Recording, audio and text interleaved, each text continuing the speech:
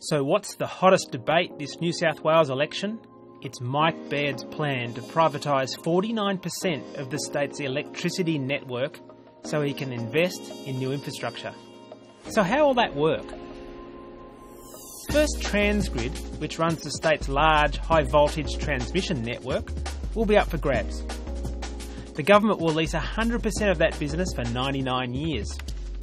Next, a majority stake, 50.4%, of both Ausgrid and Endeavour Energy will be offered for lease. Those two businesses supply 2.6 million households in Sydney, the Hunter, and Illawarra. Essential Energy, which owns poles and wires in country New South Wales, will stay in state ownership. While the government will retain a 51% share in the entire network, private investors will have effective control of the poles and wires that service about 70% of households. Labor and the Greens oppose the plan. They claim it will push up electricity prices and deprive state coffers of revenue.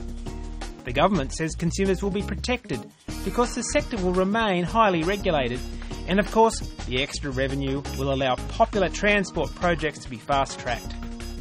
But will that be enough to convince the voters to part with their poles and wires?